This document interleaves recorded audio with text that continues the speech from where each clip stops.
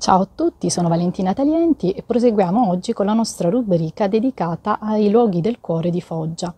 Parliamo della chiesa di Gesù e Maria, luogo per me denso di ricordi perché qui ho fatto la comunione e la cresima. La sua imponente facciata mistilinea svetta sulla piazza antistante, piazza Umberto Giordano, ed è visibile già dall'inizio del corso principale della città con cui è posta in asse, corso Vittorio Emanuele II. Recentemente è stata abbellita con un notevole portale in bronzo scolpito con figure ad alto rilievo di Gesù e Maria, opera dell'ormai defunto artista foggiano Michele Maria Pernice. L'epigrafe posta al centro del timpano sul portale reca la data 1738, anno di ricostruzione della chiesa a fundamentis dopo il terribile terremoto del 1731. La chiesa è in realtà più antica, risale al 1510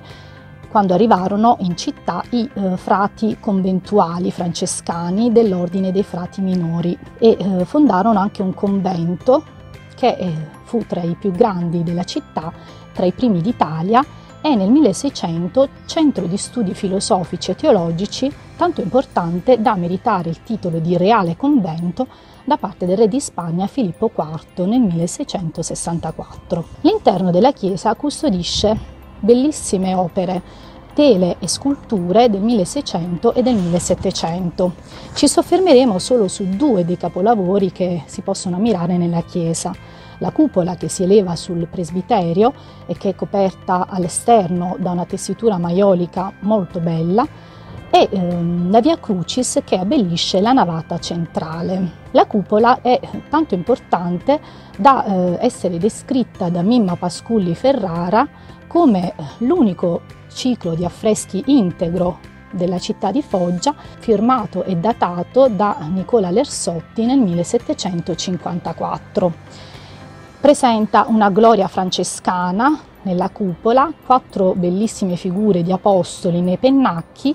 e un altrettanto notevole esempio di quadraturismo, cioè di finta architettura nel tamburo. È possibile avvicinare questa cupola alla bellissima eh, cupola del cappellone di San Cataldo nella cattedrale di Lecce, opera di Paolo De Matteis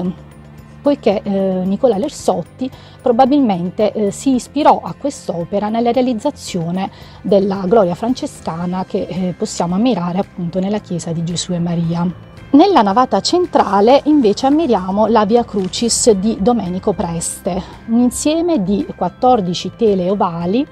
incastonate in eh, cornici a stucco dorate ehm, con cartigli recanti il numero e il nome della stazione e una croce di consacrazione nella cimasa, abbelliti ancora da applique in cristallo che fanno pandan con i lampadari nelle arcate e che ehm, con il loro sfavillio di luci stanno quasi a contrasto con eh, i, i toni scuri delle tele che eh, risentono di quel barocco di derivazione caravaggesca che è tipico di quegli anni.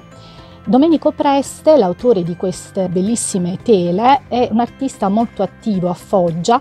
eh, colui che affrescò eh, la cappella Celentano, prezioso scrigno barocco purtroppo andato distrutto durante i bombardamenti del 43, è anche autore di due tele a firma Domè Preste che ehm, si possono ancora ammirare nella sala del tesoro della cattedrale e che rappresentano un San Francesco e una Santa Chiara. Bene, per oggi è tutto, anche questa volta abbiamo concluso, vi ringrazio dell'affetto con cui mi seguite, arrivederci a presto.